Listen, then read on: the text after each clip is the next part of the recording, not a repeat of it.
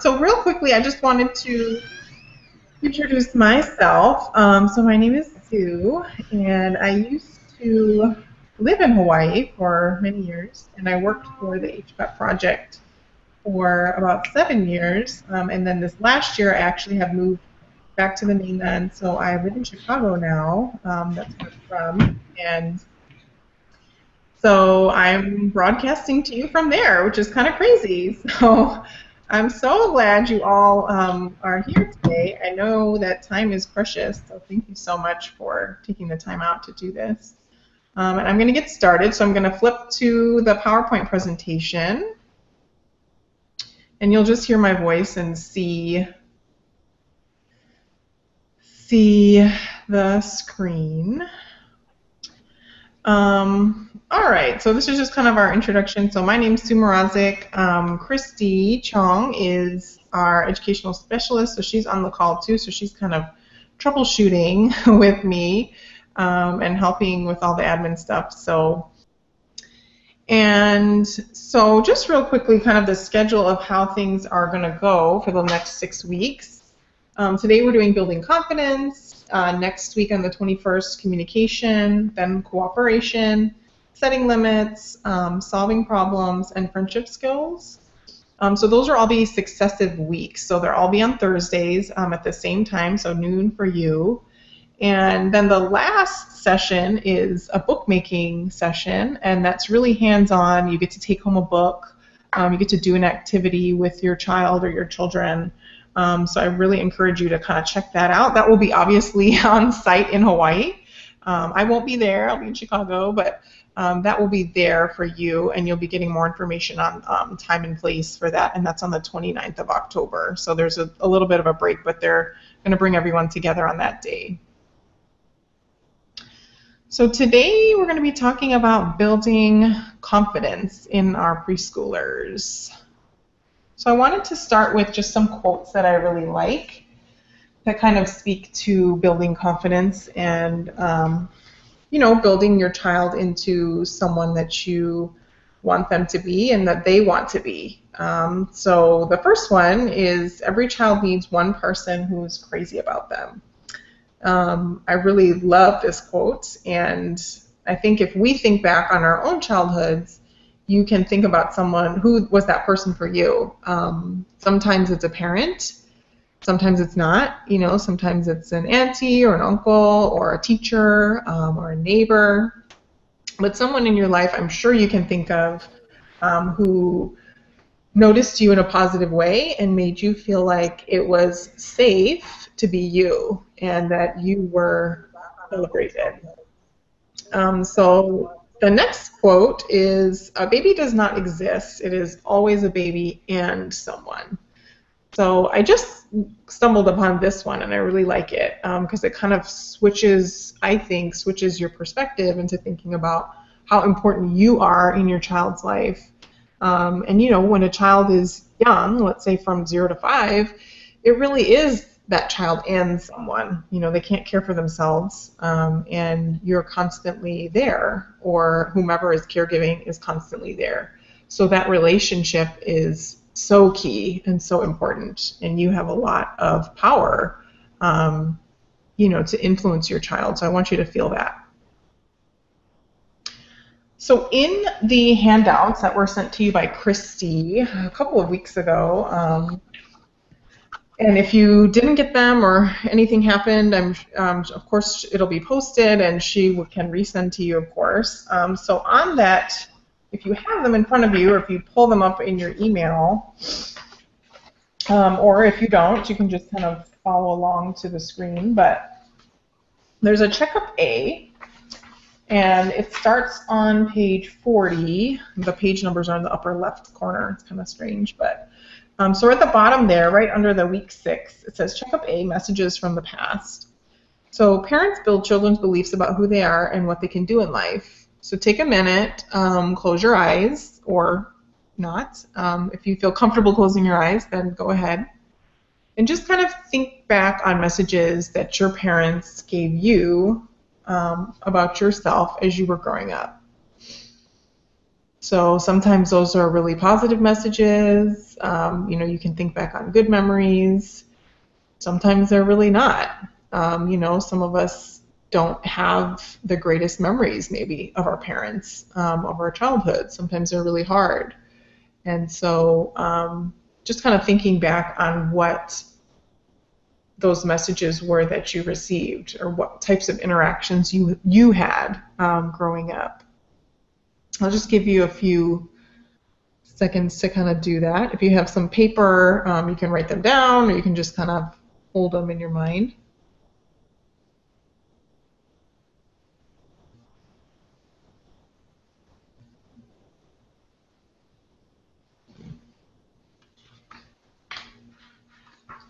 And then if you have your packet on page 41 is that second question. So how many of these messages still influence your self-confidence and how you think about yourself now? Um, I think that's really important, and I think sometimes we don't remember that. Um, but if you think about, you know, for example, let's say growing up, you know, you really didn't love school, and your sibling really loved school, or your cousin really loved school um, and you were sent the messages that you know you weren't very good at school because maybe it was hard for you to concentrate or sit there and um, you know take notes or to just to digest things or whatever the reason was um, you know school wasn't your thing and so as we grow up those messages that we received as a child um, they still play out in our lives so maybe that means you know you don't you're in a job and you think that you know you'd want to move up um, in your company or in your business, and that requires you to take more classes, but you really avoid that um, because school is not your thing. Or maybe it makes you nervous to take a class. Um, you feel like you're not going to do well. Um, so you have, kind of have this mental image or, or frame of mind about who you are. And a lot of that is based on the messages that you received growing up. It's based on a lot of other things too, um, but you can kind of piece together maybe um, how that still influences your life today, even as an adult. And then kind of moving on to how we then tend to pass those things on to our children. So oftentimes, the way that we were raised or parented, or the messages that we received about ourselves, are then the messages that we give our kids. Um, you know, that's not always the case. I think sometimes when people come from a really hard childhood. Sometimes they want to do the complete opposite. So they intentionally say, you know, I'm not going to do that. Um, and they are very different um, with their own children. But I, I would be willing to guess that during times of stress or times when, you know, we're not our best selves, um, that that person still comes out because that's what we know. Um, that's not something to be embarrassed about or ashamed of. That's it's just being human. That's what we know. Um, so that's what we're going to do. So just kind of thinking about what are the qualities that you want to see your child develop. Um, you know, the examples they give are competence, care for others, respect for environment. Um, you know, do you want them to have respect for elders? Do you want them to be creative? Do you want them um, to feel independent? You know, I mean, you have dreams and thoughts of what you want for your children. Um, so I'll just give you a minute to kind of think about those, um, what those are for you. And you can write them on that same piece of paper or um, I don't know if you have your phone there, you can text them in your phone or however it is that you kind of keep notes.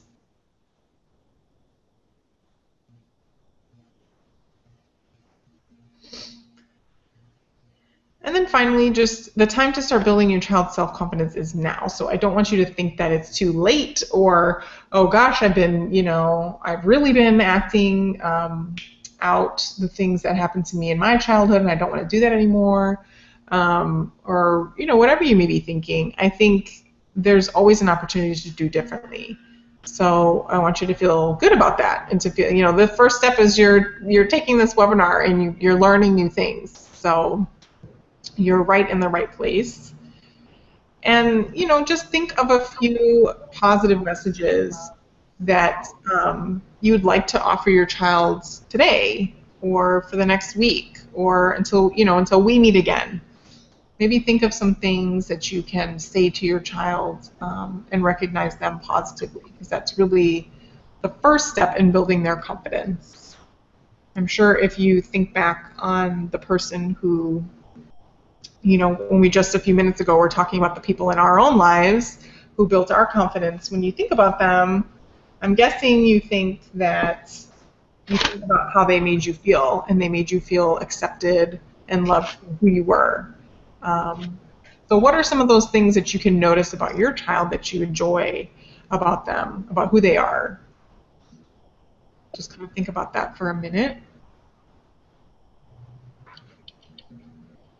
So, just following up on um, that last comment, so making those those positive statements or thinking about those positive things you can say to your child, I do want you to think about um, a little bit about kind of the quality of them. So, well, first I want to say if you feel like you're really not providing a lot of positives, you know, at all, or I mean, I'm sure you're not not doing it not at all, but you know, if you're thinking to yourself, wow, I, I really haven't been doing this that much, then I would say anything is good. You know, I wouldn't want to stress you out by thinking, um, having you overthink it. So if um, you know, if you haven't been doing it um, really regularly, then just start being positive. And I would welcome you to use good job or to be smiling more or whatever it is. Now, if you're already providing some positive things, um, then I would kind of invite you to think about the structure of them or think about the quality of what you what you're saying to your child. Um, so here's just some examples. So more than good job, because good job's very general and it's a, a very um, broad statement. So a three-year-old or four-year-old, um, of course, they understand that when you say good job, you're happy with them, but they don't necessarily connect it to why or how they can repeat the behavior to get you know a positive um, affirmation from you again. So these are just a few examples. I'm sure you have many things happening in your house that you could apply to your own life. Um, but so, for example, instead of good job saying, you know, I love the way that you played with your sister today. Uh, you decided to share your toys with her. Um, so that's just something very specific. You're giving specific behavior. You're saying, I liked what you, I like that you played with your sister, and then you're saying, what did you like about it? You shared your toys. Um, I noticed and listen. I noticed you listened to your dad when he asked you to get dressed. He only had to ask you one time. Thank you. Um, so again, you're pointing out what was the behavior. So I noticed. That's a, also you know something to keep in mind. That's a really good way to start a positive statement. I noticed. Um, so that kind of forces you as the adult into the mind frame of what did I notice. You know, you're you're going to describe the behavior. So I noticed you listened to your dad when he asked you to get dressed. Um, he only had to ask you once, thank you. Um, so what you're doing by providing that positive um, statement is you're reinforcing the behavior. You're telling them specifically what you want to see again. And then finally, you're waiting so patient for, patiently for me to check out. Uh, for example, if you're at the store, thank you for being quiet. So again, just making those statements kind of more specific so your child knows exactly what it is that you like. And then, you know, in checkup B, I'm just going to quickly go through the this part. Excuse me. Um, this is really what I would encourage you to kind of do at home or um, do like outside of this session because it takes a little bit more time, and I think it's a good um, conversation starter with um, your spouse or your partner or whomever is caregiving for your child, um, it would be a good conversation to kind of have with them. So at the top there, it just says list um, three encouraging statements that you might want to say to your child. So that kind of be a good place to maybe check in and write down those more specific statements.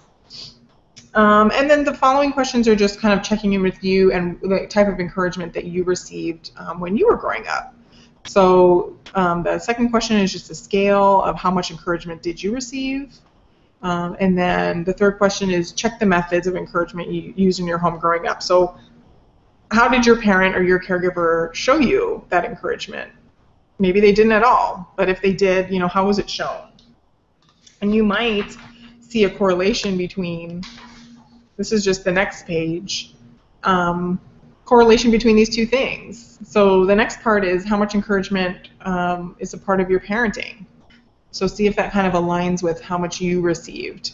Um, and I know sometimes the idea is that you know children should be seen and not heard, and maybe that's how you were raised, kind of this old school way. Um, and maybe that's if you think about it, that's kind of how you interact then with your child because that's what you know. Um, you know, it's maybe uncomfortable for you to provide that positive encouragement. Um, but it is really important for your child's, you know, confidence and self-esteem to do that. And then finally, what type of encouragement do you give your child? And just kind of seeing if that's the type that was given to you. And then finally, sometimes it's difficult for me to be encouraging because why? Um, so that may be because I never received encouragement, or you know, my the encouragement that I received was confusing, or it was good one day, bad the next. I could I never could quite figure out um, how to be encouraged by my parent. Um, so maybe that's something that you know happened in your house and that you struggle with.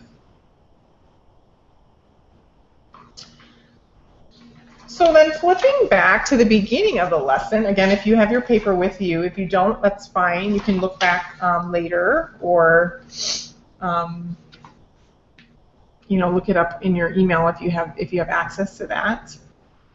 So basically, the goal of this lesson and this week is to provide um, daily confidence building messages to your child. Um, so starting with those positive statements that we just talked about a few minutes ago. Um, and then there's other things you can do. So the first two paragraphs just kind of describe what it is like to, um, you know, send those messages to your child, and that sometimes, you know, in that second paragraph it says, at first your child may resist your efforts at providing positive feedback. This is something they've never experienced from you. Um, this is a way that you're not used to talking. It's definitely going to be weird, you know, for both of you at first. So you might feel weird doing it and they might feel a little strange receiving it. But I really encourage you to keep trying. You know, it's okay when we're when we're doing something new, we don't do it perfectly. Um, and if you keep trying, then obviously it's going to feel more natural eventually. So some of the things um, you can do is you know emphasize the positive. So just like we were talking about, you can notice what it is that they're doing right. So finding a time during the day when they are on task and they are doing the right thing. So, oh, you're sitting so nicely, um, you know, with your brother. Or like the the previous example was, you're playing so nicely with your sister, you shared your toys. Um, so I think uh, thinking of those times throughout the day when your child is doing um, and is on task. And then being sincere in providing that positive feedback. So your child will be able to tell whether or not you're being for real um, and whether or not you're just of going through the motion. So, are if you are noticing something that they're doing right, then of course it's going to be something sincere coming from you. Oh yeah, so being sincere with providing um, that positive feedback and allowing your child to show others what they know well. Um, so knowing, thinking of something that your child does well already. So whether that's you know, art and painting or sports, um, you know, providing an opportunity for them to show that off. Um, so whether that's, you know, inviting people over to have a day of art at home or going to the beach and playing some kind of sport with people so that they're able to um, engage in the activity that they know that they do well. Uh, letting your child help. So that's kind of a big one. Um, I think sometimes that's hard for a lot of parents to let kids help with things around the house. And, you know, sometimes you might be thinking, well, it's going to be a lot more.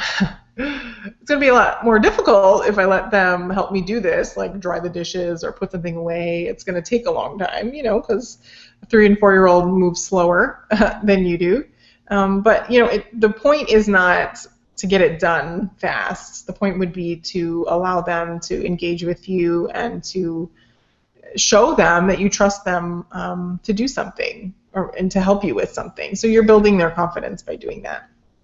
allowing them to make a choice. So that kind of goes along with allowing them to help. So you can control that choice. So if you're asking them, for example, you know, what do you want to wear today? And you pull out, you know, three different options. So you're controlling the options, but you're still, the child will still feel like you're giving them a choice and that you care about what they what they want. Um, so what you're communicating is that you're hearing them and that they have a voice um, instead of you always dictating what's going on. You know, sometimes it's appropriate for you to dictate what's going on, but there are times when you you can allow choice, um, and that will really help them to feel um, just to feel more confident. And then asking their opinion. So again, that kind of goes along with allowing them a choice, giving them a voice um, about what they want, and then finally allowing them to try. So I think that again goes along with um, letting them do things and letting them try new things that they may not be good at. Because if you think about an adult, um, someone you think of as confident, there's someone who's willing to try new things, right? And willing to make a mistake because uh, we're never going to be perfect the first time we try. So I think you start building those skills in your child as um, as young as they are and allowing them to do new things and supporting them with that and not criticizing them. And then on this, uh, the next page, on page 40, oh, on page 40, the, it has um, a little box of do's and don'ts. Again, this is in the packet that Christy sent you, so um, you can check it out. But I like these because it's just kind of a quick reference that you can look at um, and remind yourself. You could maybe put this um, around your house to remind yourself, or write them down, any anywhere that you think would kind of trigger your memory. So these are kind of the things that we just went over. So do provide positive feedback daily, and then you know there's some information about how the quality of that feedback. So describing the behavior that you want. Um, offer opportunities to try new things. Um, you know, there and these things don't have to involve money. So I don't want you to think like, oh, I have to, you know, pay to go to this museum or whatever. You know, it can be anything. It can be digging in your yard. Um, maybe that's something you never allowed them to do before, or it could be, um, I don't know. You know, there's a there's a million ideas that are really free. It could be allowing them to help you fold laundry, allowing them to do things around the house that you don't normally ask their help with, so it doesn't have to cost anything. Um, and then making time to connect with your child. So all of those things, all of those ideas about um, what you can do to offer new opportunities are times to connect. Um, so that's really what you're fostering there is just a better connection. And then don't, so things to avoid, comparing your child to another one, so whether that's a sibling or a cousin um, or someone at school, you know, that's really what gets at the root of not feeling good about yourself. I mean, as adults, you can think about that. So when are the times we feel the worst about ourselves is when we're thinking, oh, this other person has it all together and I don't. Um, so it's the same with kids. And then using sarcasm with positive verbal feedback, you know, an example of that would be something like, oh, awesome, you know, awesome job. You know, you, let's say your child drops something on the floor. Awesome, you know, great, great job. So you're the words that you're saying are positive words, like, oh, that's good, but you're saying it in a sarcastic way, which we do as adults to each other. Um, you know, but a young kid doesn't understand that and can be kind of confusing. And then finally, don't take over your child's activities. So this can also be hard, um, especially if you're like a neat freak um, or you don't. You're a perfectionist yourself, um, and you see your child, you know, making something or doing something, and it's um, it's not quote unquote correct or it's messy, um, and you kind of take over to make sure that they do it right. Um, that that's not really important, the correctness of how they're doing it. It's really um, that they're experiencing it and that they're allowing themselves to try something new. So I was going to go over these scenarios, which are really good. I love them, but I really don't believe I have time. I only have like four more minutes, um, and then I want to allow time for questions. But basically, um, it's just a scenario that talks about um, the quality of connection time. So when your child is asking for your attention, just thinking about whether you're giving it um, totally. So in this scenario, the child asks for the, the dad to come play Legos with him. And this dad obviously is like halfway watching TV and is like, ah, yeah, okay, okay, oh yeah, that looks nice, you know. And then this child is the dad actually turns off the TV, gets on the floor, and plays with him. So just kind of thinking about, you know, when your child is asking for your attention, are you are you really stopping and making that time to connect, or are you just kind of halfway paying attention? I know in this day and age of phones and everything, it's it's hard to have full attention really on anything. Um, but kind of being more intentional about that and making that one-on-one time a priority. So I wanted to quickly show you the parent um, tip and activity cards. Some of them will give you um, tips, so they're just kind of reminders of the things that we've talked about today. Um, and what helps to build self-confidence, And then, you know, they have your ideas. So, what are some things that you could do with your child to spend that quality time? And that's different for every family, um, and that's different for your schedule and your lifestyle. So, feel free to kind of think of your own. And then they just have a bunch of activity cards. So, again, these were given to you, so don't worry about like writing them down or remembering them. Um, you do have them. But they're just some games and activities that you're able to try out with your child um, over this next week and really with the purpose being just building that stronger connection um, and having that quality time so it's not the point of it is not to master these games or to you know um, love every idea or every card that is here. You don't you definitely don't have to. Um, it's really just about um, spending that quality time and carving out that time during the day to do those. So please i invite you to check those out. And then finally so for homework, um, this is for next week. So before we meet again, just think, kind of talk and debrief about the ways you were parented. So some of those questions that popped up at the beginning of the lesson.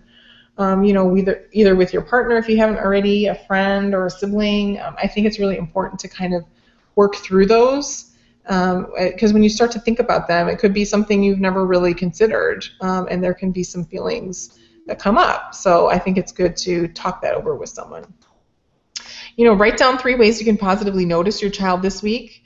Um, put it on your fridge and remind yourself. Um, so when I was in Hawaii and I was doing these sessions live with people, um, I would give them a magnet and have them write down at least three things you could notice. Um, I'm sure you can think of some right now and just pop it on your fridge, and that's something that you see walk by, you know, every day. Um, practice a few of the activity cards that I just showed you and pre-plan some time to use them. So when you know you have literally five, ten minutes during the day, um, just pull them out and kind of see if there's anything that you might be able to try. And then finally, just planning those five ten minutes in your day for that one on one attention to your child. And this could be really special if you have more than one child and you're really, you know, that's not something you've intentionally planned before. So they love, love that time with you. And then finally, you know, back to our original quote that there is no baby. I mean, maybe you don't have a baby anymore, but there is no preschooler, there is no three year old, there is a baby and someone.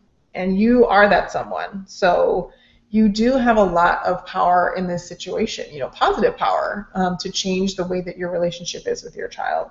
Um, and it's done every day by these little things that you're able to do. So I really thank you for listening today. Um, I hope you're able to come next week and for the rest of the weeks.